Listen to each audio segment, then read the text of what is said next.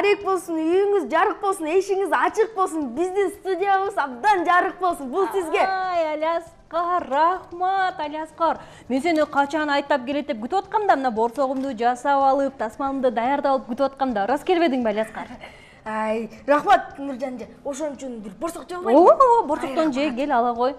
Достор мына ушундай болгон маанайда бүгүн данегим көрсөтүүсүн баштайбыз. Майрамыңар кут болсун достор ооба айтыңар маек болсун урматтуулар Мхм. А, алияскар негизи бүгүн бири бирибизге конокторду беришип бири бирибиздин үйүбүзгө барып куттук айтып аябай сонун майрамдап жатабыз э алияскар анан эртең менен туруп эле баарыбыз ата энебизди куттуктадык болуш керек биринчи эле. Ооба нуржанжы эң биринчи эле мен дагы ата энемди куттуктап өз колум менен белек жасабадымбы ай бирок деген тилекке каршы өзү ошо белегимди коздойм десем жетишпей калат окшойм тилекке каршы А, алияскар жетишесиң жетишесиң кантип А, бизге азыр керемет сонун болгон лайфхактарды көргөзүп берет А, ал кандай лайфхактарды билесизби мына дал ушул сага керектүү болгон лайфхактар кантип болбодубу? бат баттан оп оңой эле жасап койсо болот экенин көргөзөт жакшы болбодубу ушул эфир бүткөндөн кийин эле дароо эле ушу белегимди коздойм дагы ата энеме берип куттуктайм жакшы анда чогуу баарыбыз тең лайфхакты көрөлү. Макул кеттик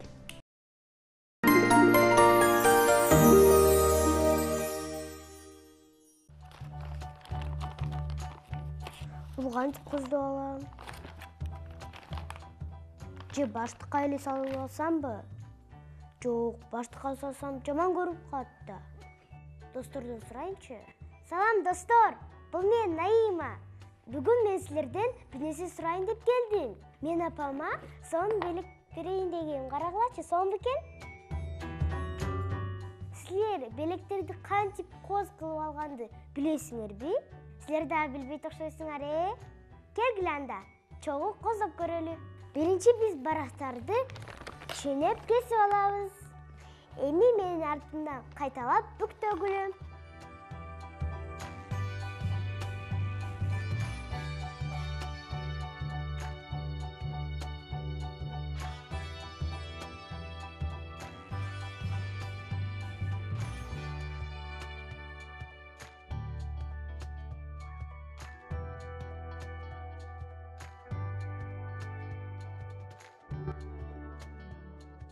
эми дагы коз болуш үчүн бантиктер менен чаптап коебуз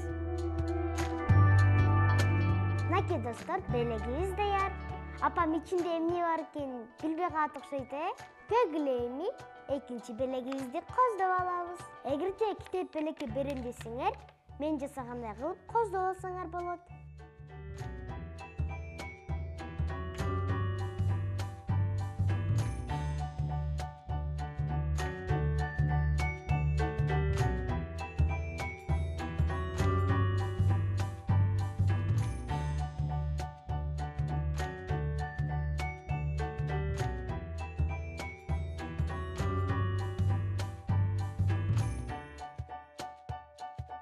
мынакей достор коз болуп калдыбы келгиле достор эми үчүнчү лайфхакка өтөлү эгерде силер майда белектерди берем десеңер анда ушул лайфхакты колдонгула ал үчүн бизге диск керек ооба туура эле уктуңар диск жана картон керек картондун артына диск менен чийип алабыз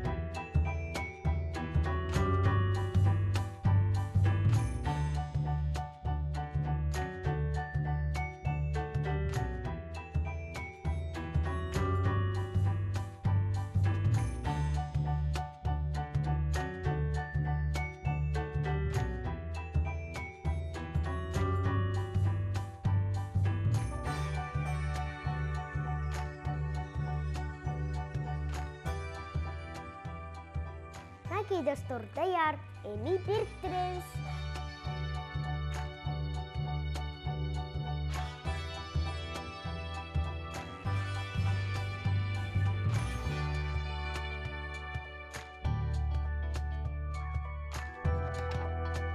мынакей достор байлап алдым достор карагылачы кичинекей болсо дагы абдан коз болуп калды достор мен бүгүн силерге белекти коздоонун үч жолун көрсөткөнгө аракет кылдым силерге кайсынысы жакты кийинки көрсөтүүдөн жолугушканча кош кула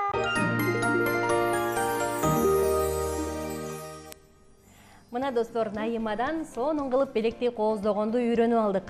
Алескар сен дагы деле борсок жеп атасың о нуржан эже абдан дамдуу борсоктор экен да. А нуржан эже ушул майрам тууралуу сиз деген э, досторго мындай кичине маалымат бере кетпейсизби майрам жакшы болот. Бүгүн достор курман айт майрамы э баарыбыз тең билсек керек. Курман айт майрамы кечиримдүүлүккө чакырган ошондой эле ак ниеттүүлүккө а, анан дагы кайрымдуулукка чакырган сонун майрам.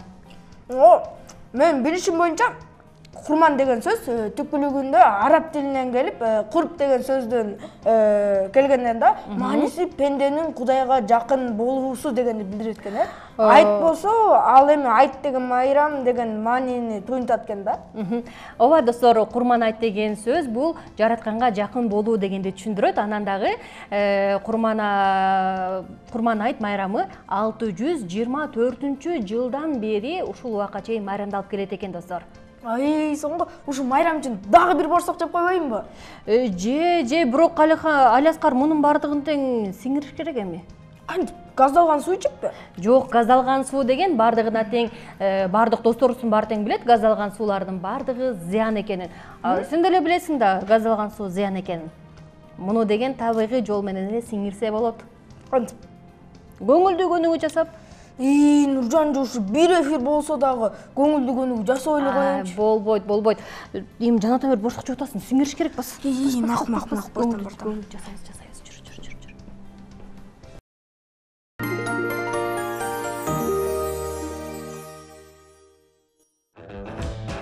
Эй эй кана кана маанай жакшыбы достор эй!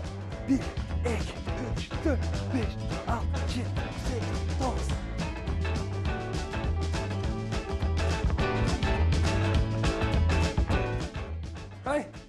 сіздерге? чарчадык Эмне еттіңер?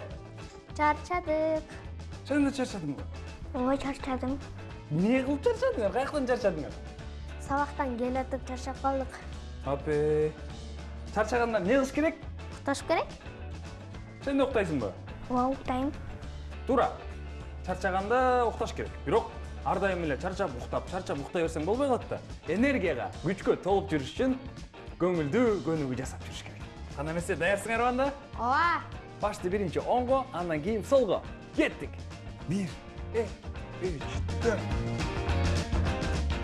Солго. Бир эки үч төрт беш алты. Эми болсо достор ийиндерди кыймылдатабыз. Алдыга сегиз жолу артка сегиз жолу. Кеттик.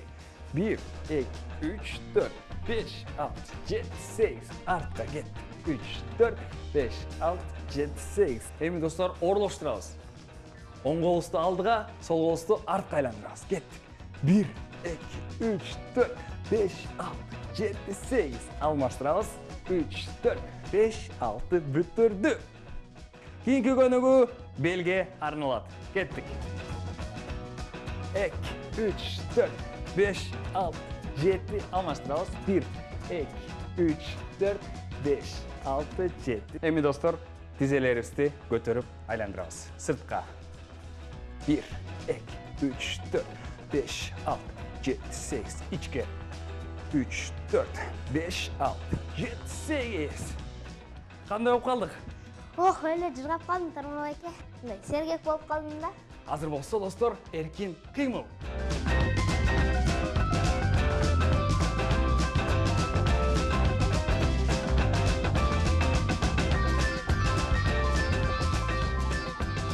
азыр болсо достор биздин жакшы көргөн көнүгүүбүз жер тешмей кеттик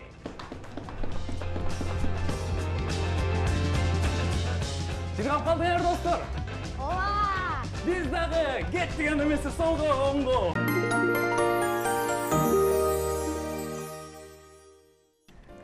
мына болдум э Эхе, мына достор алияскардын борсокторун бир аз сиңирип келдик эми дагы эфир бүткүчөктө дагы жеп турсаң болот го дейм э э бүгүн эми курман айт кечке чейин жесең болот түнгө чейин жесең болот эми. Ай жакшы болбоду эме нуржан эже бизге дагы коноктор келип калыптыр го э ооба биздин студиябызда конокторубуз бар. Мен анда эмесе тааныштыра кетейин э. Э, студиясында коноктору э, токтобеков нурсултан жана бакытбеков Ази- азиз Э, Ооба. формаларынан эле байкап э, кетсек болот. Бул булар карате менен машык экен. Ооба саламатсыңарбы достор? Саламатсызбы. Э, кандай келип алдыңар? Жакшы айт майрамыңар менен. Рахмат сиз да рахмат. Кандай айтты кандай майрамдап жатасыңар? Жакшы үймө үй кыдырып боорсок жеп алияскарга окшоп кечке эле боорсок жеп атасыңарбы ооба канча үйгө бардыңар? Э, кыдырдыңарбы ооба канча үй ошо бир бир а бир жерге бардыңар э? Ооба А, азаматтар. Анан э, боорсоктон жеп алып чөнтөгүңөрдү момпосуга толтуруп алып анан биздин студияга келип калдыңар. Ооба эң сонун жакшы экен анда алгач эле өзүңөр жөнүндө тааныштырып кетпейсиңерби биздин досторго э карап туруп. экинчи биринчи камерадан кара менин атым бакытбеков азиз. Мен он жаштамын үчүнчү классты бүттүм. Мен жетимиш экинчи мектепте окуйм. И айта кой. атым Тоқтабеков Нұрсұлтан. Мен 9 жаштамын, екінші класты бүттім, 79 класста жетимиш тогузунчу мектепте окуйсуң э азаматтар. экинчи классты бүтүп үчүнчү классты бүтүп дагы бир класс өйдө көтөрүлдүк деп жыргап аткан турасыздарбы э каникулда болсо эс алалы деп э А каникулда эмне кылып атасыңар каникул жөнүндө айтып бергилечи каникулда э, лагерь ойноп анан тренировкаларга баратабыз. Э, ушул жайкы каникулда каякка дагы барып келдиңер мындай ысык көлгө же ысык көлгө эч жака бара элекпиз эми барасыңар да э ооба анда тренировкадан колуңар бошобой атыптыр да азырынча. Ооба А, жай бою тренировка кыласыңарбы ошондо же машыгасыңарбы же жай бой. жай бою машыгасыңар ооба а и силерде эс алуу деген болбой турган да.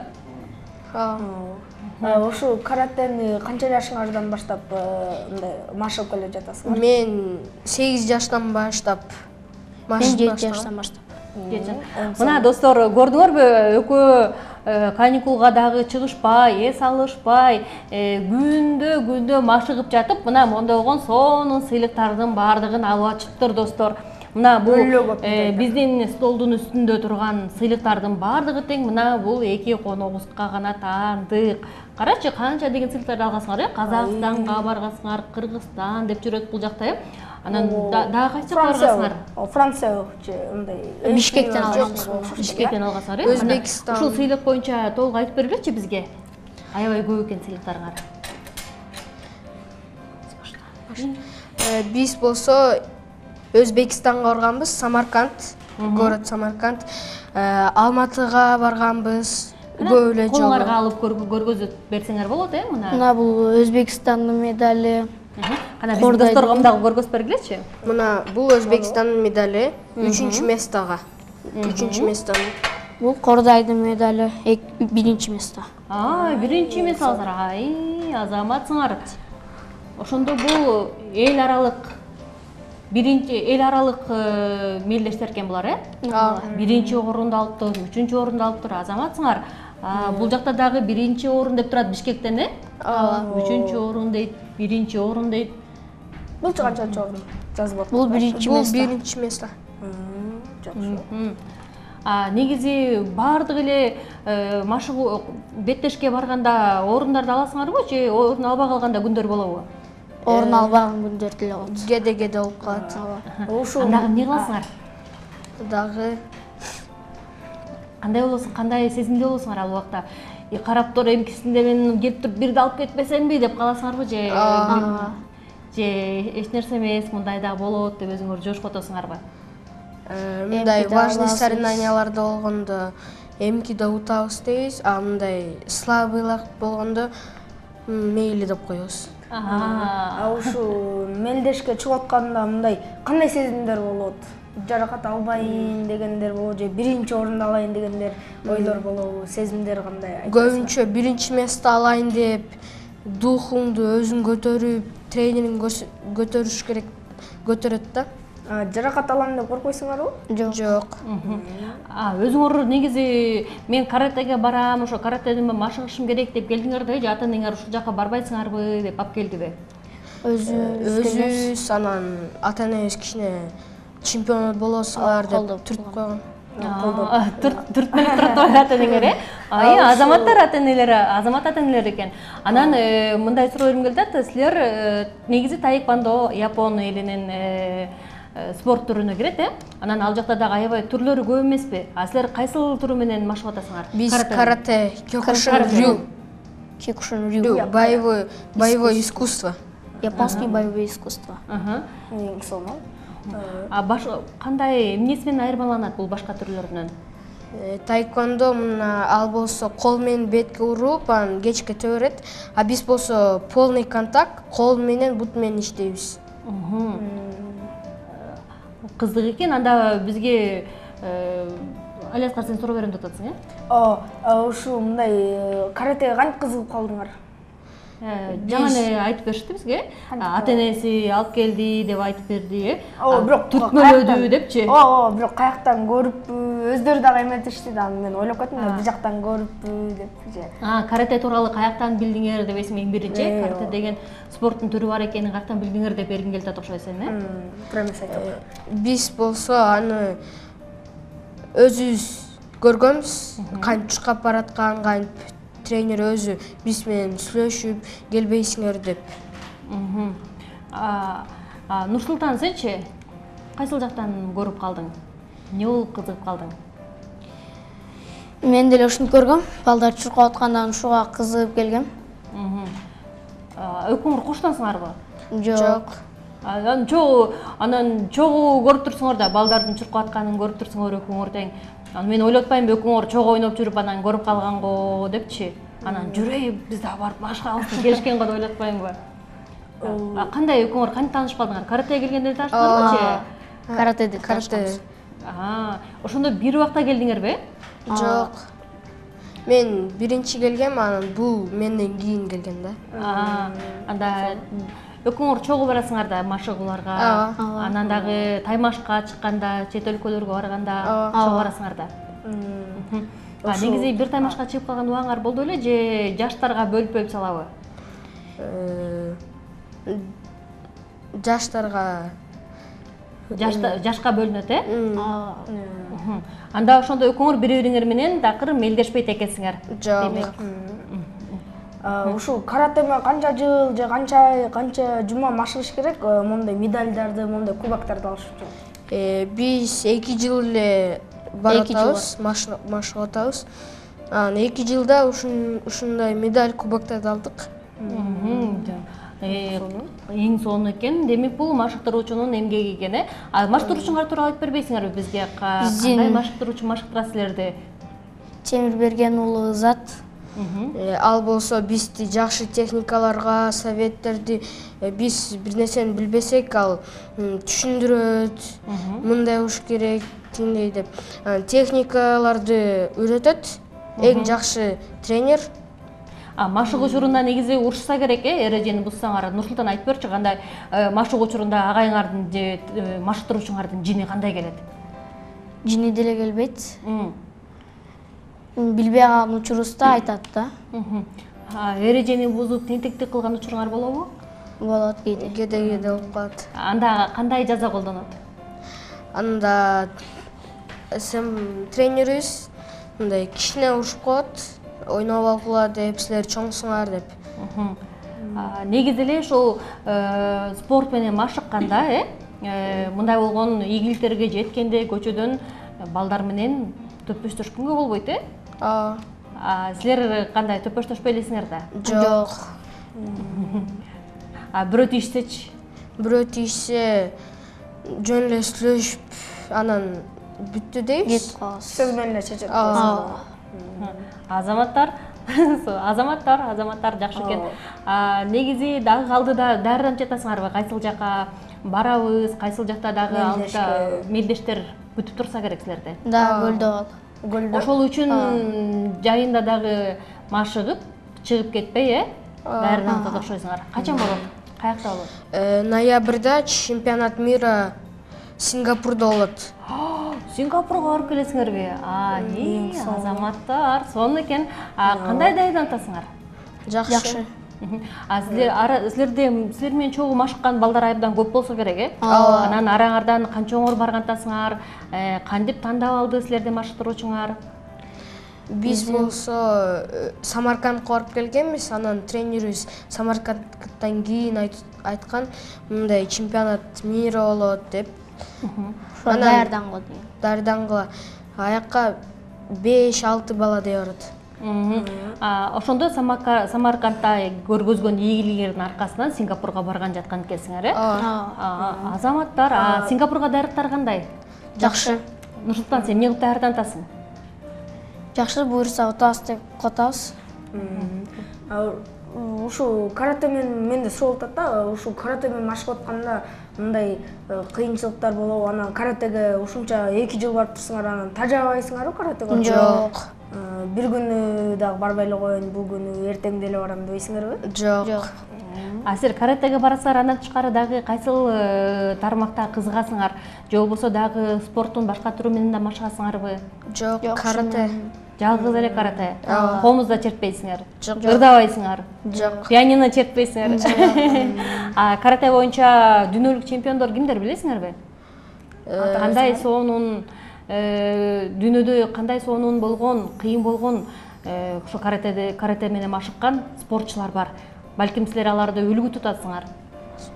Э, биз андайларды билбейбиз. Билебиз бирок аттарын айта албайбыз да. А, аттарын билбейсиңер так билбейсиңер. Бирок э, көрүп алып ии мен ушундай болгум келет дейсиңер ооба эң сонун. Эң сонун экен. А келечекте ким болгуңар келет? Э, тренер. Тренер? А сенчи мен деле тренер болгум келет. А экөөңөр тең агайыңардын жолун жолдогуңар келет экен да? Ооба. Эң сонун экен. Силер деген ушундай карате менен машыгат экенсиңер бизге мындай э, мындай трюктарды көрсөтүп бере аласыңарбы ооба трюктарды деген э, биринчи агайыбызга салам жолдойлу э? Анан баардыгын тең айт майрам менен куттуктайлы андан кийин силердин машыгууңарды көрөлү э Кана э, камераны карайбыз дагы саламдарды жолдойбуз. Ос сенпай биз мына нурсултан экөөбүз биякта отурабыз. Аха. Э, салам айтабыз э? Жакындарыбызга ата энебизге э, туугандарыбыз эң бир туугандарыбызга кошунабызга да салам айтпайлыбы Э, мамам кандайсыз мен биякта те- телевидениеда отурам. Эжем бөбөгүм силерге да салам. Азаматсың. Эң нурсултан эмсен тайне кандайсыз? Дагы майдын апке кандайсыз? Аха. эң сонун азаматтар азаматтар эң биринчи эстегендерин айтып өтүштү. Э азыр болсо силер даярсыңарбы бизге соонун өнөрдү көргөзүп бергенге. Ооба аха анда чогуу көрөлү э кана бул жака өтүп алалы студиянын ал жака.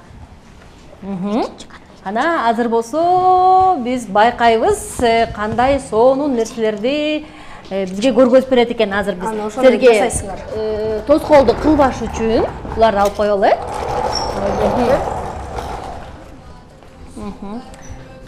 Кана бир эки үч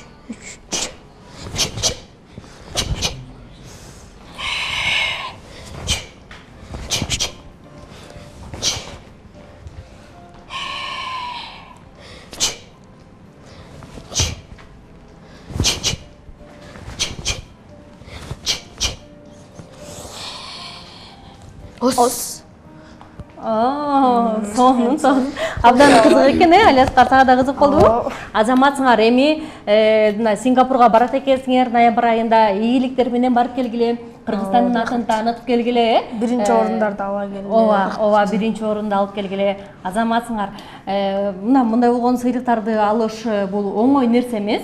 Абдан кыйын канча деген тер төгүш керек э. Азаматсыңар эми ушунун ийгиликтерин көргүлө балдар азаматсыңар жакшы барып келгиле. Ооба, дагы дагы көп келип тургула. Силер үчүн биздин эшиктер ар дайым ачык. Ооба алияскар сен жанатан бери эле боорсоктон жеп атасың жеп атасың. Мына булардай болуп макшыгыш керек. Э, аны дагы сиңириш керек. Анан боорсоктон жеп момпоюп отура бербей саякатка да чыгып келбейлибиз биз. Мына булар макул жакшы болот сингапурга барат экен а биз биз деген каяка барат элек А, биз деген азыр кайсыл өлкөгө барабыз.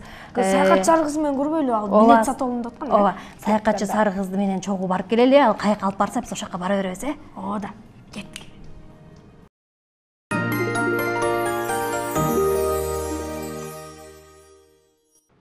салам менин саякатты жакшы көргөн досторум бүгүн биз грузия мамлекетине саякат жасайбыз эгерде силер даяр болсоңор биз баштадык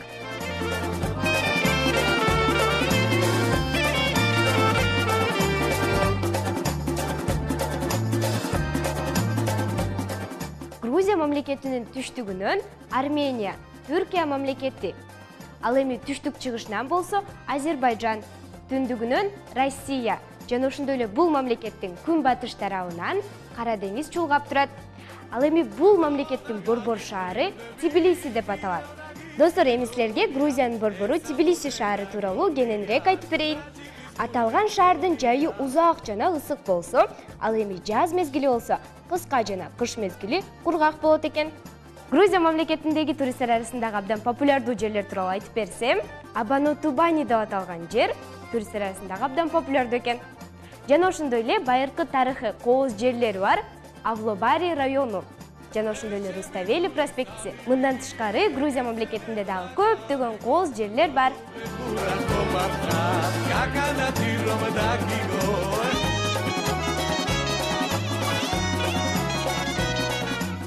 Грузин поэти шота руставелинин ысымынан коюлган руставели чоң көчөсүнүн узундугу бир жарым километрди түзөт.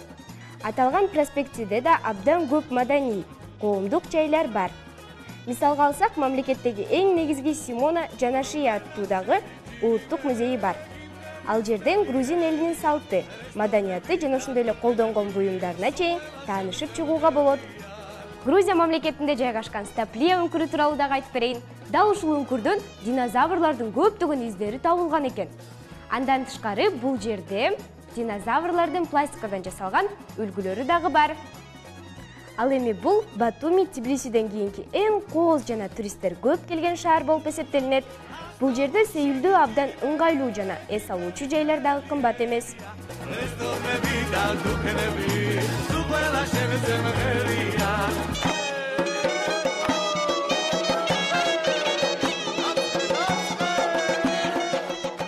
Кечкисин бул шаардан ырдаган фонтондорду дагы кезиктирүүгө болот экен. Тактап айтканда фонтан музыканын ыргагы менен термелип укмуштуудай кооздукту жаратат. Негизинен грузиянын табияты ар түрдүү. Ойдо кызыл көк карагай сыяктуулар өссө андан жогору жерлеринде альпы шалбасы өсөт. Мында апельсин мандарин лимон дарактар жана ошондой эле гүл абдан көп. Ал эми дарыяларда гидроэлектр станциялары курулган. Ал эми эли тууралуу айта турган болсок алар абдан эмгекчил келишет. Тоо боорунда дагы үй салышып бак тигишет экен. Жана ошондой эле тазалыкты абдан жактырышат.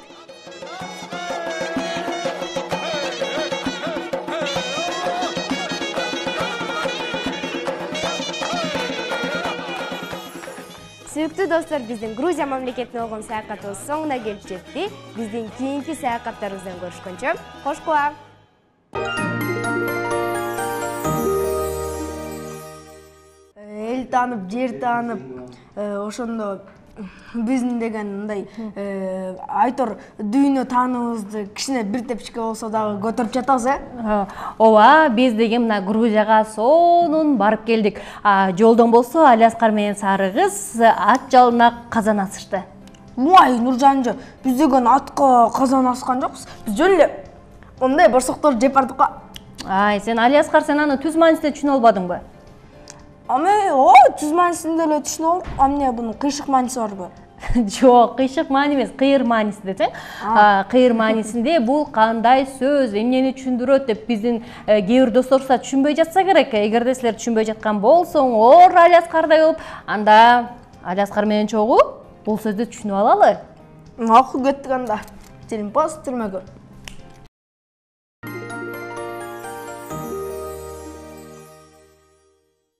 салам достор кандайсыңар биз бүгүн ромой көз жеринчи чечим жөнүндө жомок укуп келдип чечтик. Кандайсыңар достор? Силер билесиңерби жээрин чечечең ким болгон? Ал 14-15 кылымдарда жашаган түрк элдеринин ооз-эки чыгармаларында чечен жана акылман болгон. Жандуунун гана эмес жансыздын дагы тилин дилин түшүнгөн. Олуя катары сүрөттөлөт. Ооба бул жомок мага аябай жагат.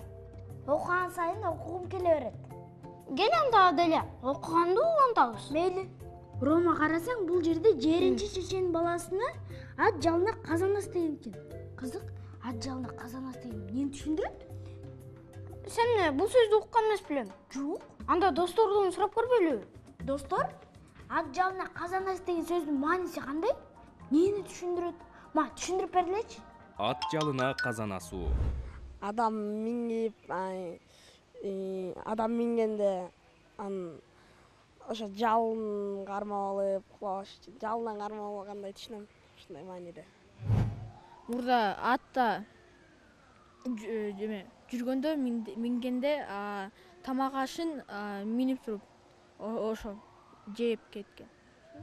Жооп бергим келбей атат атты түшүнөм?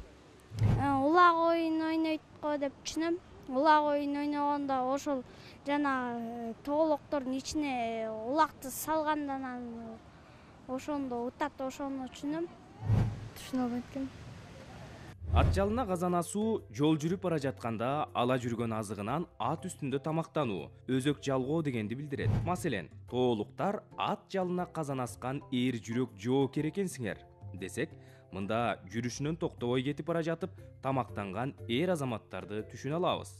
Балдар ат жалына казан асуу деген эмне экен?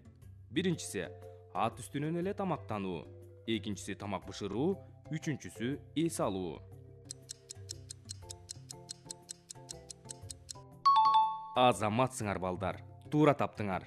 Ошондо убакытты үнөмдөп курсак тойгуз болуп кете берсе турбайбы э?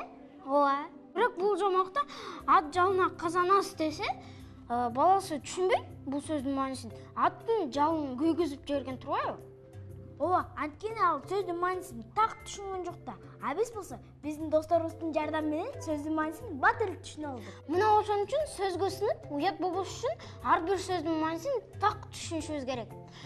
Эми достор менен коштошолу ооба кошкула достор кошкула эме лайкты басып туруп катталганды унутпагыла.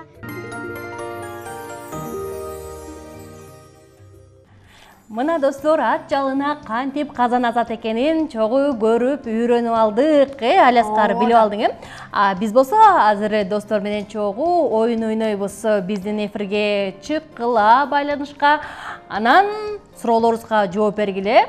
Анан биздин сонун белектерибизди утуп алгыла биздин белектерибиз ошондой эле моомдой сонун э, баластандын футболкасы жана ошондой эле моомдой сонун кружка. Ушудан ооба достор бизге байланышка чыгып э, эки сурообузга жооп бергиле дагы анан сонун билектерди утуп алгыла алияскар болду болду эми борсокту кечке кечке жей бербей э, угармандарды кабыл алалы макул ким бизге чаалат жана ким жооп берет суроолорго сен анда борсокту жебестен андан көрөчү э, кайсыл суроолор биздики? Ошолорду окуп бербейсиңби макул биринчи суроом оттой күйөт кол күйгүзбөйт жаныңда жүрөт жардамы тиет. Бул эмне? Жана ошондой эле экинчи табышмагыбыз бар. Бул кайчылаш тиштери бар. Тиштеринин миздери бар. Тиешелүү иштери бар. Бул эмне болушу мүмкүн. А бизде чалуу бар экен. Кабыл алабыз. Саламатсызбы? Салам. Аха атың ким байел байел Кай кайсыл жактан байланышка чыгып атасың оштон оштон азаматсың А, айтың маанилүү болсун байел кана сыналгынын үнүн акырын кылып коелу э анан алысыраак отуруп алып биздин суроолорубузга жооп бере бер Мгм. кана байел байел сен телевизор сен анда экинчи урматтуу көрөрмандар эгерде бизге байланышка чыгып аткан болсоңор биринчи сыналгынын үнүн азайтып койгула э анткени бул деген абдан тоскоолдук жаратат дагы биздин студияга угулбай калат Биз силер менен сүйлөшүп анда бизде кийинки чалуу бар экен ооба саламатсыңбы биз айтып кеткендей саламатсыңбы кандай каяктан чалып атасың? Саламатсызбы айтың маариф болсун. Атың ким? Рахмат атым аеля айелда кайсыл жактан чалып жатам деп айттың? Рахмат атым аеля Э, жаңы эле эскертүү бергенбиз сыналгынын аз айтып койгулачы сураныч. Ай кой сыналгынын э, үнүн азайтып койгула сураныч. Кана дагы бир чалуубуз бар экен кабыл алалы саламатсыңбы саламатсың. Алло эфирдесиз суроолорду айтып коесузбу Э, айтып коелу сиз атыңызды айтып коюңузчу аттың. Кана атыңызды айтып коюңузчу биринчи жаннат. Жанат кайсыл жактан байланышка чыгып атасың? Бишкектен эле азаматсың. Анда биринчи табышмакты алияскар айтып берсин э ооба биринчи табышмак оттой күйөт кол күйгүзбөйт жан- жаныңда жүрөт жардамы тиет бул эмне? Мына оттой болуп күйөт экен э? Кол А, ошол эле күйгүзбөйт учурда колубузду күйгүзбөйт экен. Жаныңда жүрөт байланыштан алыстап кетти. Анда мына оттой күйөт колубузду күйгүзбөйт жаныбызда жүрөт анан бизге Жардамы тиет. кийинки чалуу бар экен кабыл алабыз. Саламатсызбы? Кандай кай жерден чалып атасың алло сиз эфирдесиз болсун алло уялып жатабы же кандай байланыш жакшы болбой жатабы А, дагы бир чалуу бар экен кабыл алабыз саламатсыңбы саламатсыңбы кай жерден чалып атасың түз эфирдесиз кана саламатсызбы алло саламатсызбы алло. Эй саламатсызбы? Ай ай ай. Бүгүнкү биздин э, көрөрмандарыбыздын баардыгы тең уялып атышабы же курман айт деп аябай майрамдап кетишкенби кандай? Саламатсызбы? Саламатсызбы? Аха, саламатсызбы? Кай жерден чалып атасыз айтыңыз маек болсун дейин дегем эмне болуп жатат эмне болуп жатат биздин бүгүнкү көрөрмандарга футболкасына алгысы келбейт ал кружка аласыңарбы оп оңой эле жок бизге көрөрмандар абдан көп чалып жатышат. Бирок тилекке каршы өчүрүп коюп жатышат. Же болбосо бизде бүгүн байланыш начар болуп жатат окшойт. Дагы бир чалуу бар экен. Кана алып көрөлүчү саламатсызбы? Саламатсызбы. Атыңыз ким? Базарбек жодарбек кайсыл жактан байланышка чыгып жатасыз? Ош шаарынан канча жаштасыз? Ош шаарынан ош шаардан чыгып канча жатасыз жаштасыз Э, сиз өчүрүп коюшат достор дагы дагы айтып кетели сыналгыдан алыс отуруп үнүн азайтып туруп биздин суроолорубузга жооп бергиле Ооба. бизге тоскоолдук жаратат ошондой эле э, бизге тоскоолдук жаратса силер моундай футболкаларды ала албай каласыңар тилекке каршы. Кана да- дагы суроолорду кайталап коелу э? Э, биринчи суроо биринчи суроо ошондой эле э, оттой күйөт кол күйгүзбөйт жаныңда жүрөт жардамы тиет бизге жардам тиет. Деги чекте эле кана чалуу бар экен саламатсызбы алло. Алло. Э, саламатсыңбы атың ким айтма элек болсун аниза. Аиза кайсыл жактан байланышка чыгып жатасың аниза. Аниза. Жок кайсы жерден байланышка чыгып жатасың? Караколдон. Караколдон. Сонун экен биздин анда э, биздин суроолорго жооп берүүгө даярсың да э? Ооба түшүндүк түшүндүк түшүндүк сыналгыны өчүрүп койчу аниза? Аха. Сыналгынын. Суроо? Кандай эле сыналгыны өчүрүп койчу сураныч.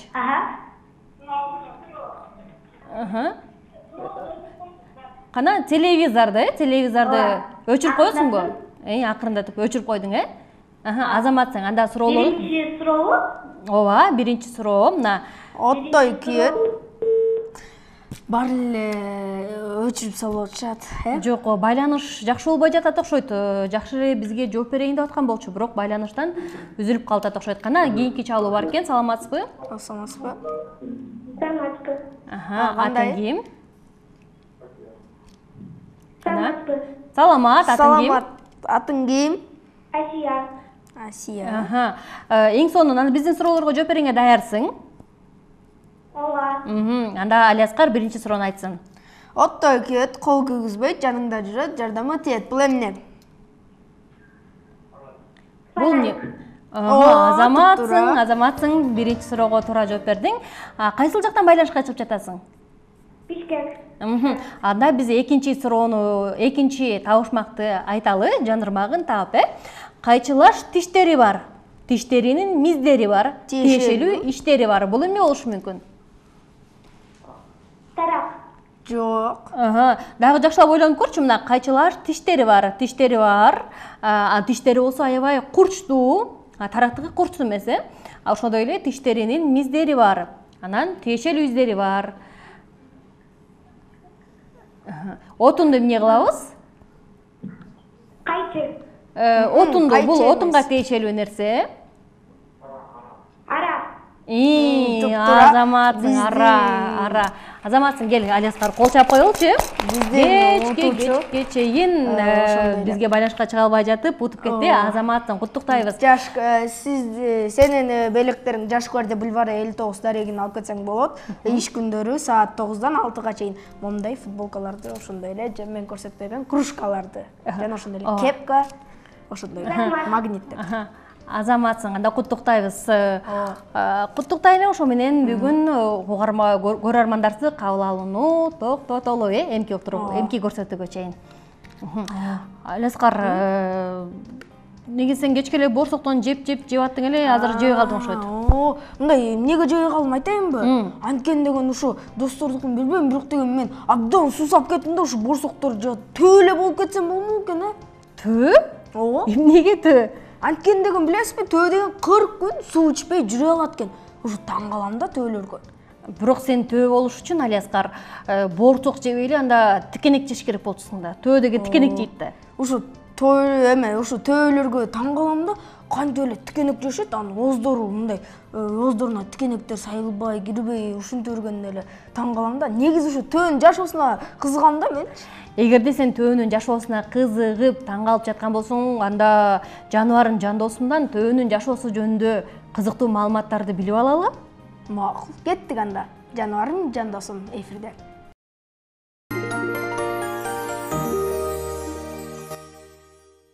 Салам достор. Менин атым эмирхан. Достор кырк күн суу ичпей жашай алган жаныбар кайсы? Албетте бул төө төө аябай чыдамкай туруктуу жана токтоо жаныбар. Бирок анын жинине тийсеңер артыңардан чуркап келип туруп түкүрүп салат.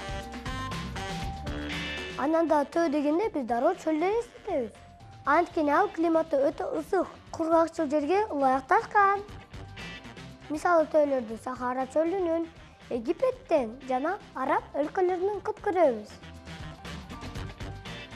таң калыштуусу төөнүн катуу туягы жок. Ошондуктан төө борпоң кумдан жана майда таштардын үстүнөн басат. Достор төө эмне үчүн көпкө чейин суусуз жашай алат. Анткени төөнүн ашказанында атайын бөлүкчүлөр бар. Ал он мүнөттө жүз элүү литр суу ичип коюп бөлүкчүлөргө сактап коет алыс жолго чыкканда ошол бөлүкчүлөрдөгү сууларды керектейт. Ошондой эле төөнүн өркөчү жөн жерден эмес. Биринчиден ысыктан сактайт. Экинчиден тамак аш жана суу менен камсыз кылуу милдетин аткарат. Бир ай суусуз тамак ашсыз жүргөн төөн өркөчү формасын жоготуп кичирейип калат. Билесиңерби төөнүн салмагы жети жүз сегиз жүз килограммга чейин жетет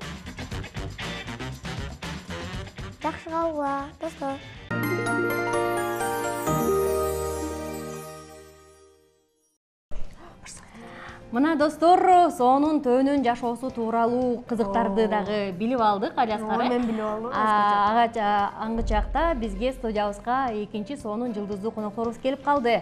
Алар кичинекей комузчулар э, сулайманов э, сулайман дүйшөнбеков жана салабат закирбековдор кол чабуулар менен тосуп алып А, айтыңар маариф болсун. Рахмат. Кандай келип алдыңар? Жакшы Э, булар э, көр- көрүүчүлөрүбүздүн айта кетели экөө бир туугандар э Э, мына улуу байкеси жана ошондой эле бөбөгү менен ээрчишип келип калышты бизге. Комузду э, айтты бүгүн кандай майрамдап жатасыңар? Айтадыңарбы майрамдадыңарбы айта элекпиз бүт кыргыздарыбызды айт майрам менен куттуктаймын бул дагы куттуктайт айтыңыз марик болгула. Азаматтар а канчанчы класста окуйсуңар? Экөө орто мектепке барасыңарбы же э, же сен бала бакчага барасыңбы мен үчүнчү классты бүттүм төрткө көчөм. А сенчи мен мен биринчи класска көчөм. А биринчи класска барасың эми Аха. а бизден биринчи класска барып жаңы барып атсаң анан комузду дагы черткенди да үйрөнүп алдыңбы э Ай, азаматсың өзү кичинекей болуп анан соонун комуз черткенди үйрөнүп алган экен да салават деген кандай сонун бала экен да э алияскар А, а комузду канчадан бери чертип келатасыңар? Мен жети жашыман бери чертип келатам. Эки жарым жыл чертип атам комузду а сенчи салават мен беш жашымда чертип беш жашыңдан баштап э, комузду чертип атасың э? Катуу катуу сүйлөп бергилечи бизге үнүң орто кичине өктөмүрөөк чыгарып э? Биз көрөрмандарга дагы айтып кете турчу нерсе э, мына бу салават менен э, сулайман э, биздин э, биздин эң алдыңкы комузчуларыбыздын бири болгон дүйшөнбек э, закир э, уулу закирбек уулунун уулдары. Э анан мына ал тууралуу маалыматты айта кете турган болсок төрт айынан баштап э, төрт айынан баштап деген мындай комузду черткен күүлөрдү угуп уктаган экен да. Анан дагы өзү беш жашында эле комуз черткен экен. Салават дагы э салават дагы ушундай эле беш жаштан баштап комуз чертет экенсиң э? Азаматтар алияскар сенде суроо суроо болуп атат окшойт о силер ушул комузду чертип келе чертет экенсиңер анан ошондой эле канча күү билесиңер канча күү үйрөндүңөр Э, дагы кайсы күүлөрдү үйрөнгүңөр келет? Мен он күү билем. Бул болсо канча? Беш беш. күү билет. Мен деген э, мен деген актамак күүсүн үйрөнгүм келет актамак көк тамак а бул болсо кайсы күүнү үйрөнгүң келет сен? Мен машботой машботой а сен машботойду үйрөнгүң келет э? А сен болсо актамакты эми үйрөнгүң келет э? А кайсыл күүлөрдү билесиң? Э, он күүнүн арасында кайсы күүлөр эң биринчи үйрөнгөн күүң кайсыл? Жаштар маршы жаштар маршы а бизге бүгүн э, курман айт майрамы менен көрүүчүлөрүбүздү куттуктап э, бир сонун күү ойноп бербейсиңби. Кайсы күүнү чечип бересиң айдаралы көйрөнгүн ойноп берейин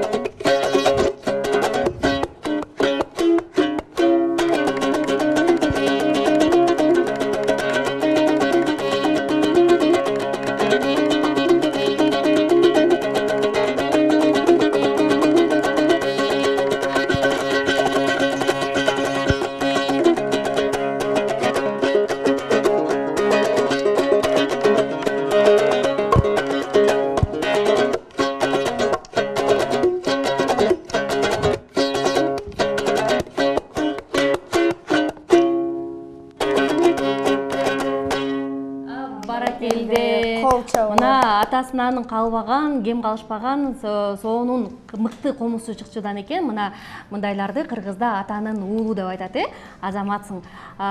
Силерге дагы атаңар үйрөтөбү негизи комузду? Атам үйдөн көрсөтүп коет жанагы туура туура эмес жерлерин. А өзү болсо э, сезим сезиме өтөт сезим Э, ошондо байызбекова сезим э. Атаңардын Шакирти анда силерди устатыңар байызбекова сезим экен а үйдөн болсо атаңар карап кандай туура чертиш керек экенин көргөзүп турат экен э? Азаматсыңар а гүл чертип атканда эмнени элестетесиң? Күнү элестетем ошо милоо жазсын ошону эле элестетем. Кайсыл жагын басыш керек эмне кылыш керек деп э? Ооба сонун экен. А, салават сенчи кайсы күн чертип бересиң? Алтын балалык. Алтын балакты чертип бересиң э а бул кимдин чыгармасы? Ал мурак абдрахманов. Мурак абдрахманов атабыздын чыгармасы. Э келе кой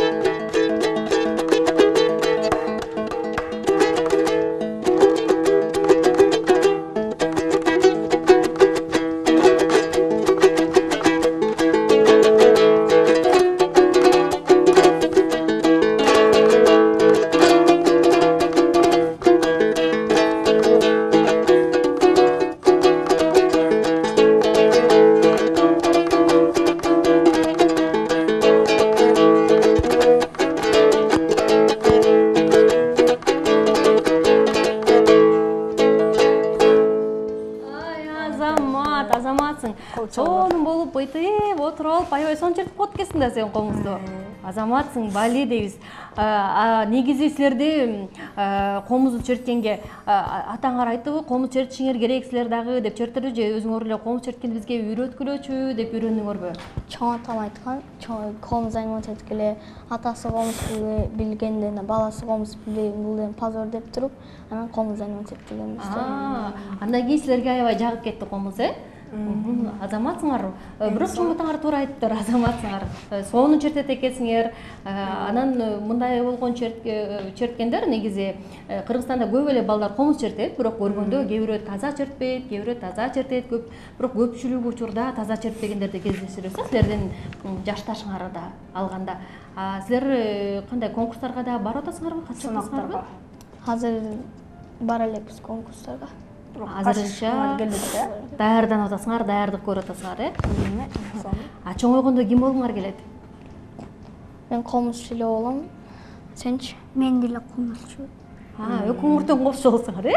Ии, жаным десе. Сонун бала экен аябай. Анда экөөңөр тең чогуу дуэттерди дагы аткарасыңар э? Анан э, кандай салымдарды кошобуз деп ойлоносуңарбы? Же азырынча көп андай ойлор келе элекпи мисалы жаңыча күүлөрдү чыгарам э, же болбосо дагы кыргызга э, сонун кылып жаңы нерселерди берем деген нерселер барбы же жокпу азырынча? Азырынча жок андай нерселер азырынча күүлөрдүн баарын үйрөнүп алыш керек э? Абдан сонун экенсиңер ана дагы бир күбө укпасак болбой калды окшойт э? Дагы бир күбө укпайлыбы кайсыл чыгарманы ойноп берген атасың мен деген азыр кыз кербес деген э, атай комбаевдин эмесин ойноп берейин. Кыз кербес э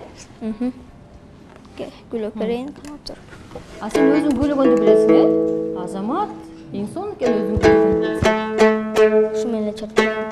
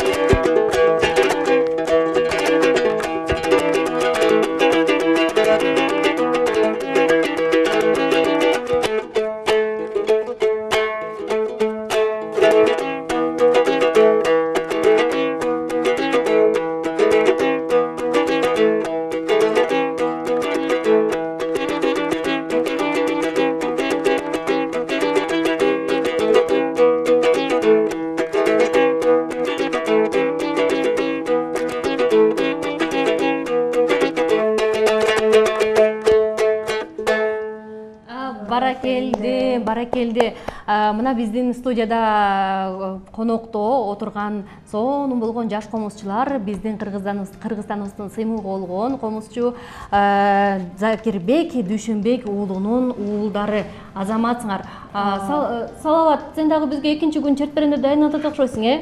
Жаштар машинасы сен солого окшойсуң э? кайсы күн чет бересиң жаштар машина жаштар маршы келе кой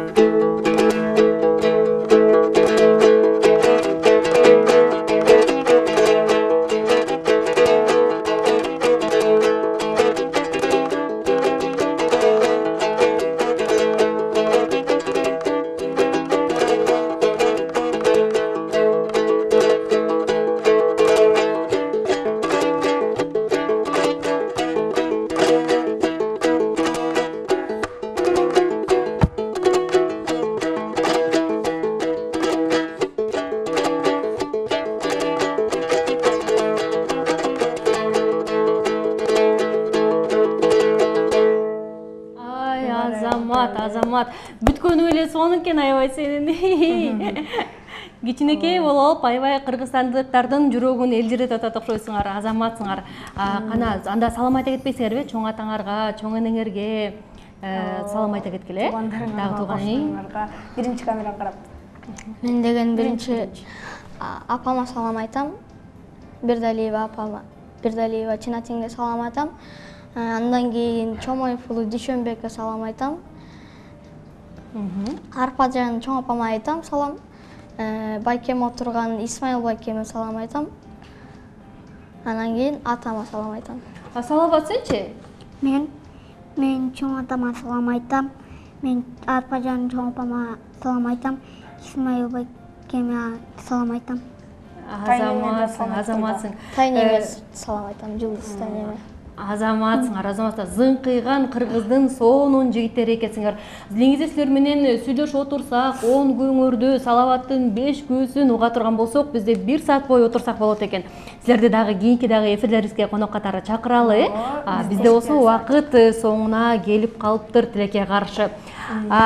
Достор мына бүгүн ушинтип э, данегимдин кезектеги чыгарылышын аяктайбыз. Баарыңыздарды жакшы көрөбүз. Анда ошондой эле. э, айт марең айтыңыздар. Маарек болсун. көрүшкөнчө калгыла достор